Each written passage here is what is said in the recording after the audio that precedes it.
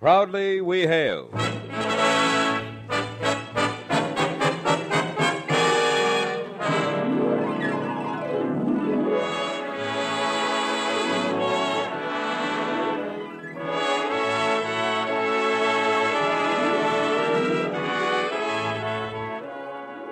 From New York, home of the American stage, another dramatic documentary of our country and our people, featuring a cast of outstanding players.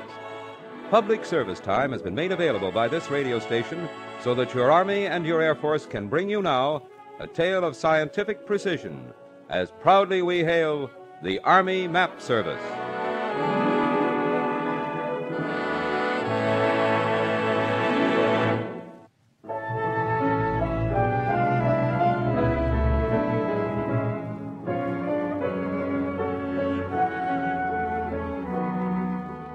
For those who think a map is something to crumple in the glove compartment of the car, for the soldiers who followed them all over the world and who figured they'd always been around, for those who would tab it of a business, here is a story we call Maps by the Millions. It started 105 years ago, yet it's as young as today. It stands unmatched for sheer courage and genius. The story in a moment. Right now, a message of interest an important message for the young men of our country. If you think you can hold down a man's job, there's a man's job waiting for you in your country's rapidly expanding United States Army. Go to your nearest United States Army and United States Air Force recruiting station and get all the facts today.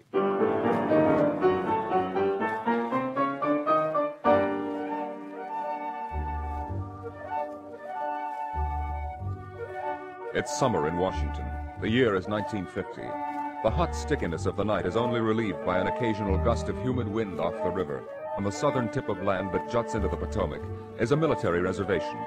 The lights that blaze, the staccato slapping of hurrying footsteps, are in sharp contrast to the slumbering quietness of the surrounding city.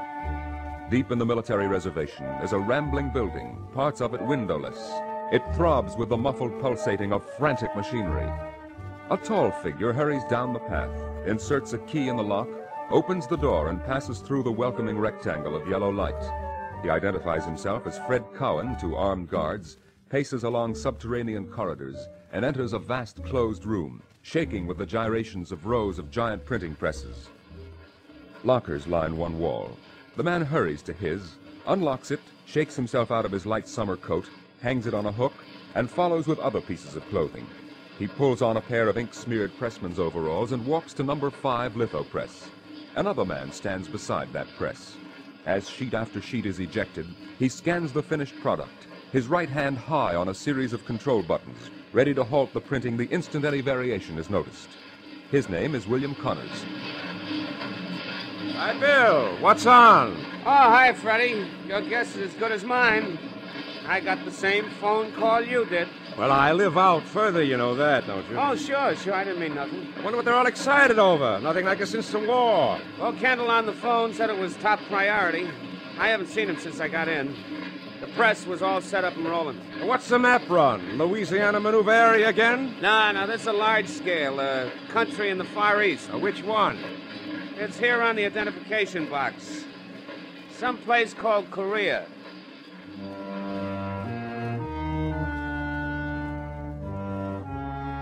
If you fight a war these days, you've got to have maps, and they've got to be good.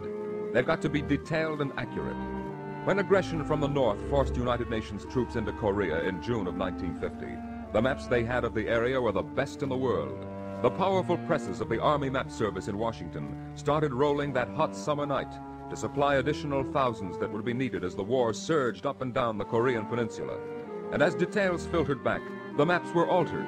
A misplaced cove, a hill where none had been shown on the map, a new railroad spur, precise, up to the minute, flown by air to the men fighting their way up a foreign coastline, field units setting up presses in the Pacific, as they had during the war to make the myriad maps a fighting army requires, the quick sweep of speedy photo planes, the incredible calculations based on the aerial pictures, the detailed maps that so speedily result. But it wasn't always this way. Once when our nation was young, when the great distances of the West were all but unexplored, the Congress of the United States authorized an expedition to chart the unknown, to mark the trails that only explorers and guides like Kit Carson knew. To such an assignment was ordered John C. Fremont, Lieutenant, United States Army. We set out in the summer of 1842 from Chouteau's Landing on the Missouri River. We traveled about a 100 miles along the Kaw River and then struck out overland to Fort Laramie. On the way, a new mountain peak was discovered. The party insisted on naming it for me. We returned to St. Louis along the Platte and Missouri rivers. We mapped as we went, as accurately as our instruments would permit.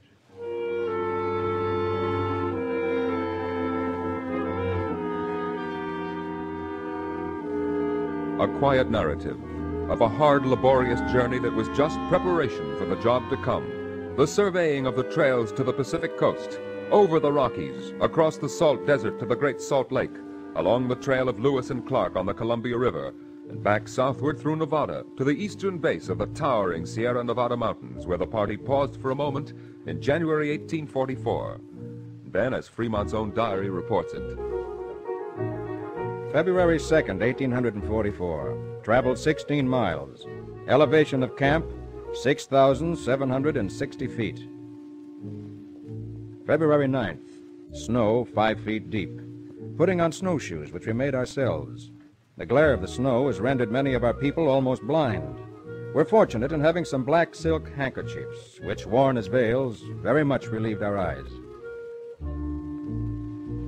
February 20th. We encamped with all our animals on the summit of the pass in the dividing ridge. Elevation 9,338 feet. February 22nd. Tonight we killed another mule, now our only resource from starvation. February 23rd. Going ahead with Kit Carson to reconnoiter the road, we reached in the afternoon a creek which made the outlet of a lake. What now, Kit? Cross it.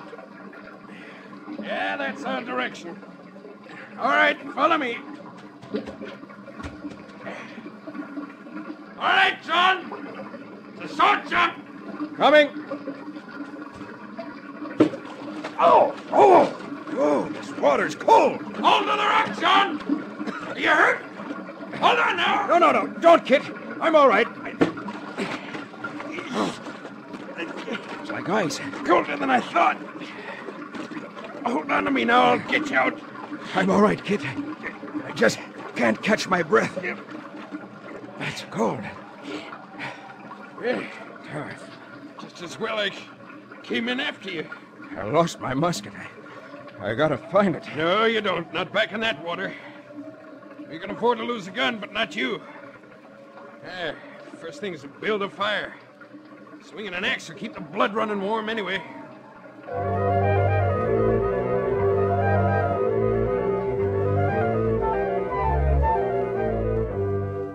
After we had partially dried ourselves, we went back to meet the camp.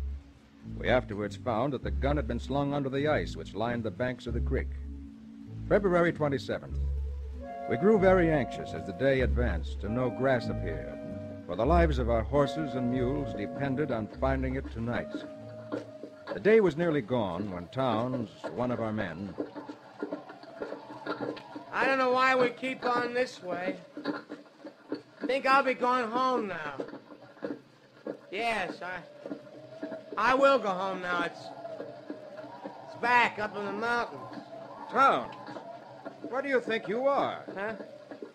Only a little ways from home. But I'm hungry. Think I'll go home for supper now. Hey, Towns, stop it. Towns, don't you know who I am? Huh? Who am I? Well, you're. You're our baker. At least I, I think you are. But you don't have any bread out here. It's back in your shop. I'm going to your shop for bread, and I'm.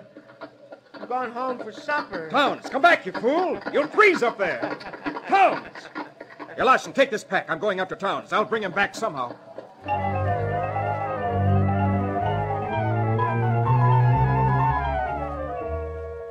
Towns wandered off into the woods, not knowing where he was.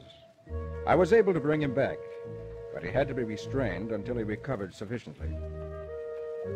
March 6th, 1844. reached Sutter's Fort today. Of the 67 horses and mules with which we started across the Sierra, only 35 arrived at Sutter's Fort. But the maps were made. The trails were blazed. In spite of cold and even madness, a section of the earth was charted. John Fremont had done his job better than he knew. For as he drew his maps, he was also drawing the outlines of a rich tradition that would be followed through the years by the Army's topographical engineers, by the daring pilots whose flying cameras were to chart great portions of the world, by the far-reaching organization of the Army Map Service. Although born of war, it would achieve greatness in peace.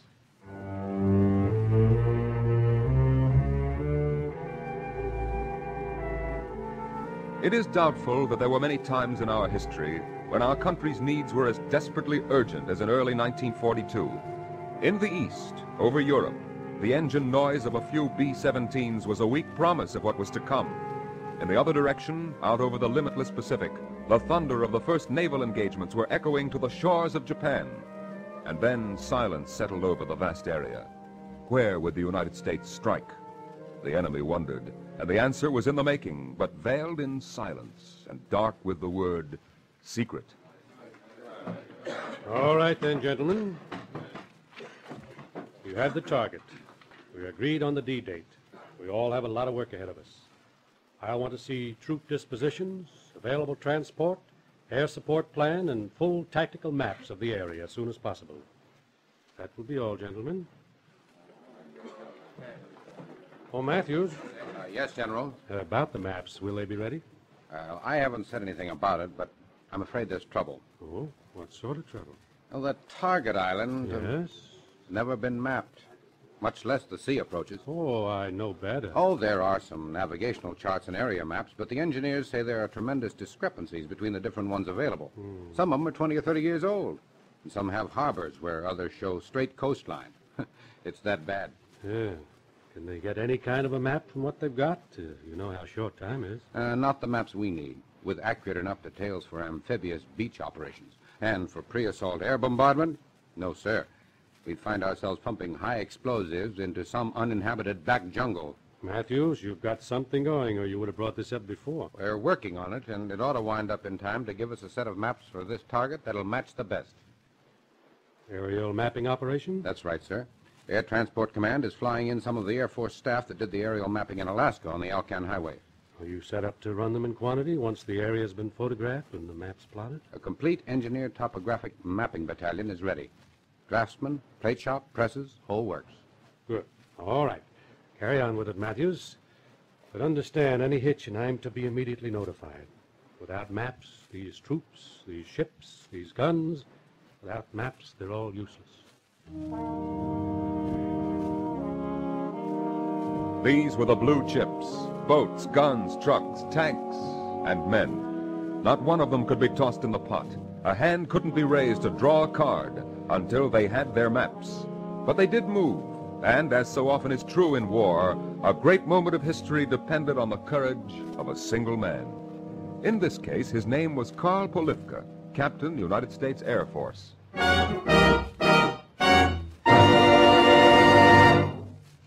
In a moment, more about maps and the men who make them. More about the unsung work of the Army Map Service. Now we pause in the proudly hail production of Maps by the Millions for this important message. You young men of America know that the United States Army has been expanding. However, that expansion must continue, and your help is needed. It's needed right now. You yourself can get ahead in the Army because there are many opportunities for advancement if you have initiative, courage, and leadership ability. So visit your local United States Army and United States Air Force recruiting station and enlist in the United States Army today. You are listening to Proudly We Hail, a dramatic documentary saluting the Army Map Service, a story we've called Maps by the Millions.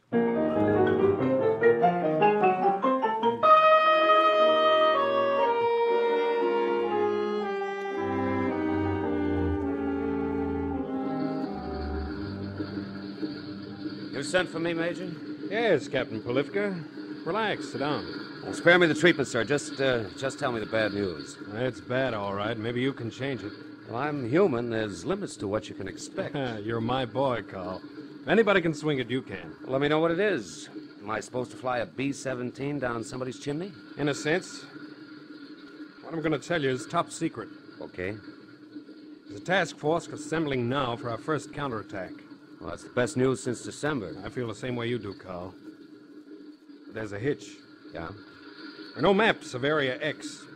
We combed the islands. Stateside, they've turned the files upside down. Nothing? Now, The missionaries, the Aussie planters? What have they been using to navigate steamships on those waters? uh, not accurate enough for an amphibious landing operation, a campaign to take an island. You know what these island sketch maps are location not accurate within several miles. They want the area mapped? That's the story. Specialist team was headed in from the States. Their planes down. Project was set for a flight of P 38s, rigged for aerial mapping. F 4s, they call them. Those planes were lost on a sub picked off the freighter carrying them. Well, what do I use? Uh, a B 17? That's a bum joke, because you're right. That island has to be mapped. 17's the only thing I've got for you with range enough to get there and back. Well, I'll try it. But listen, uh, Yeah? if the pictures aren't in focus, don't make me go back.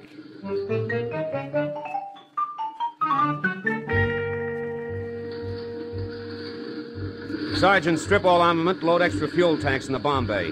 We're flying light, but fast.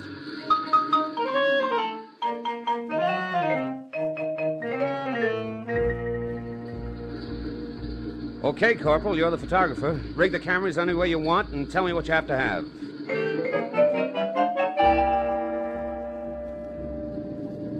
Pom Pom Tower. This is Army 8753. Airborne at 0614. Destination Area X.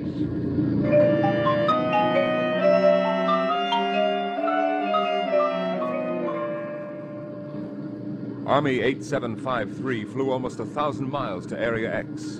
And over the island that was its target, the plane set a new course, straight down the backbone of that brown and green oval on the blue Pacific.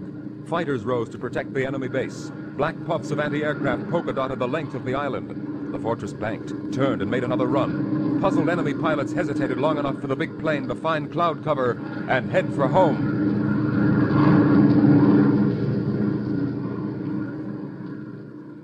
Army 8753 did come home.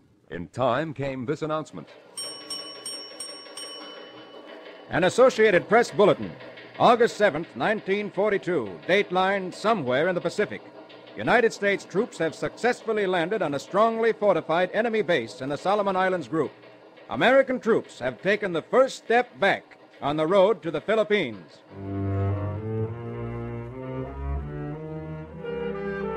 That map made history. You could say it made freedom. It was the map for the entire campaign in that area. It was the first reliable map ever made of the island.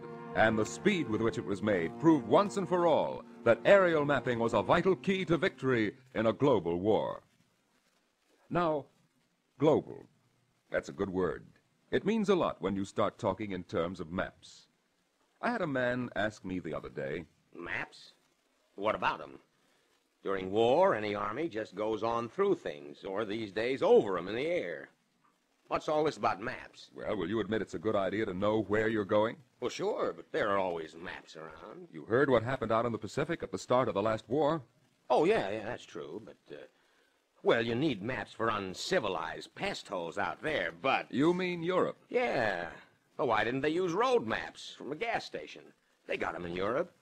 Seems to me they'd do just as well. Perhaps.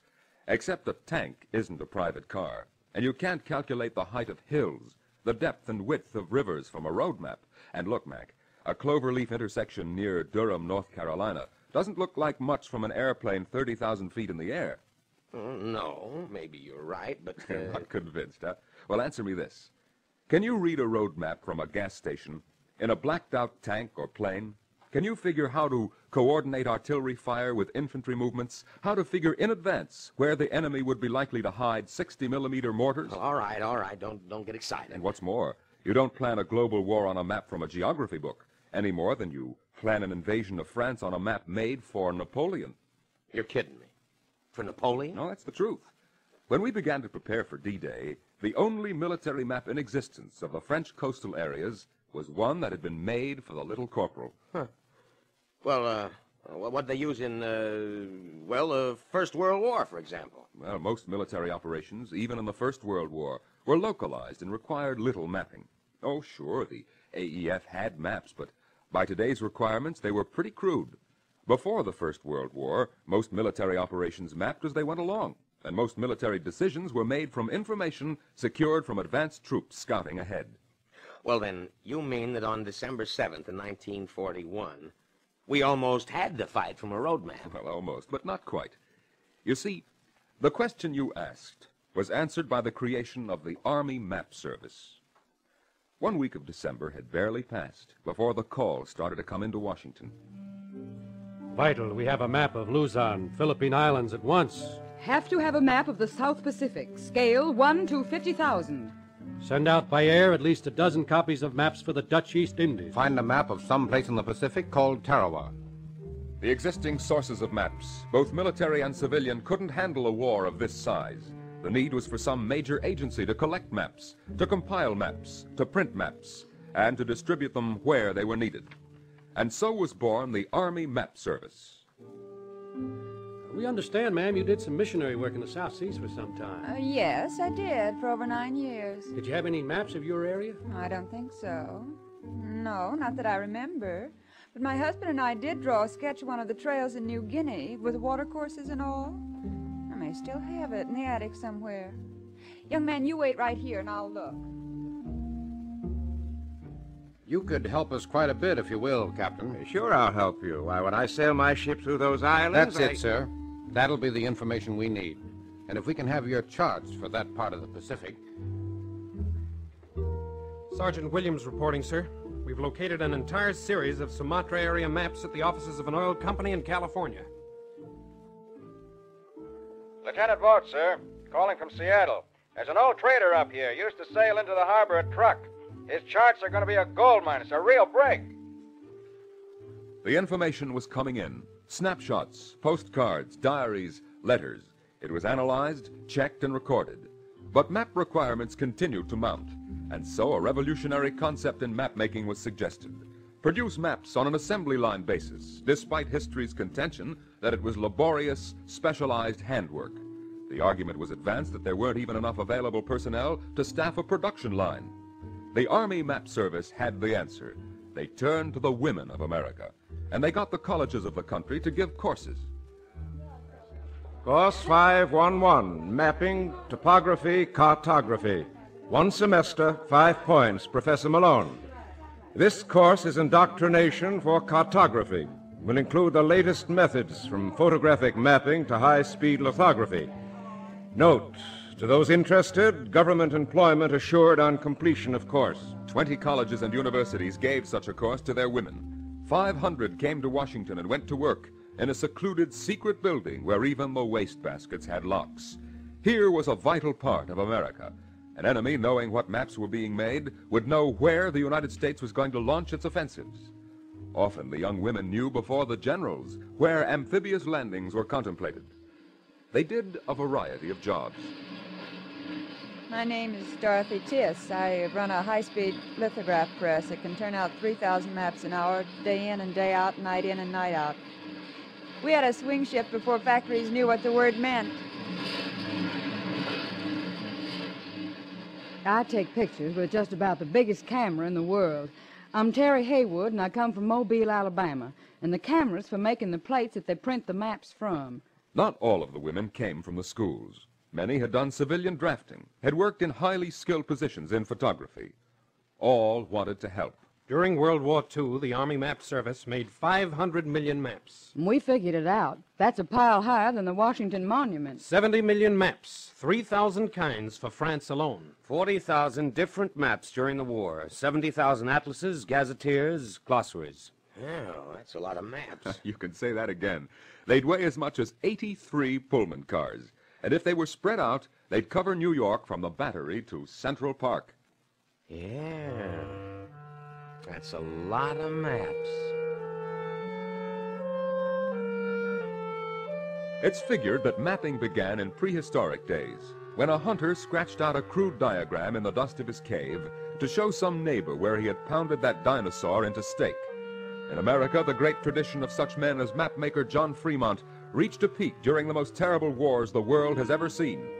Certainly one climax was the morning Patton's racing army awoke to find that they had outrun the limits of their maps and sent up a howling that only ceased when 10 tons of maps were parachuted down to them. Oh, very interesting, but uh, where do they go from here? A good question. The answer is everywhere. The demands of peace are in many ways as pressing as those of war. The world has grown smaller. We have neighbors now where once we had only acquaintances. New developments, scientific marvels to keep pace with the time, fluorescent maps for use in the dark and under special lights, emergency cloth maps for aviators forced down at sea. They'll withstand water and exposure. Then there's the use of radar as an aid in mapping, with the promise that someday it may be one of the basic means for computing maps. New methods and equipment for aerial mapping.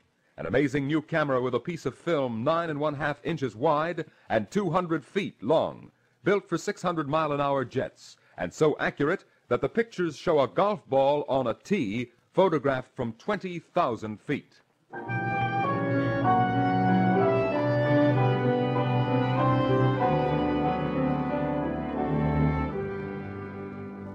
This, then, has been the story. A brief introduction to maps, the men and women who made them during the war and who make them now, and the Army Map Service. It began in America with John Fremont and his men, laboring through the mountains over a hundred years ago.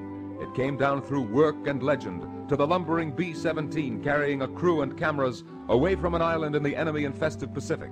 The nimble fingers, keen eyes and minds, and stout hearts of the men and women in the squat building near Washington. This has been the story, the tradition, and the service to the nation of maps and the Army Map Service. They make 'em by the millions.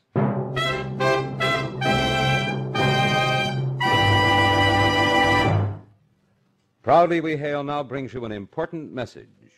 The United States Army, the senior service of our armed forces, is expanding rapidly and needs your help. By enlisting in the United States Army, you'll not only get the finest training in the world, but you'll have the special pride that goes with wearing a United States Army uniform. If you have the qualifications, the Army will train you in such interesting career fields as radio, radar, electronics, mechanics, meteorology, and many others.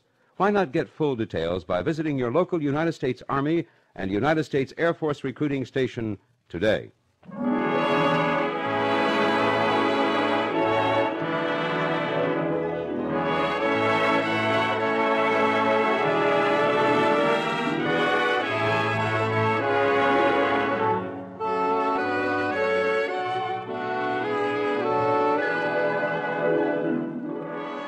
This has been another program on Proudly We Hail, presented transcribed in cooperation with this station by the United States Army and the United States Air Force Recruiting Service. This program featured Norman Rose as narrator. This is Kenneth Banghart speaking and inviting you to tune in this same station next week for another interesting story on Proudly We Hail.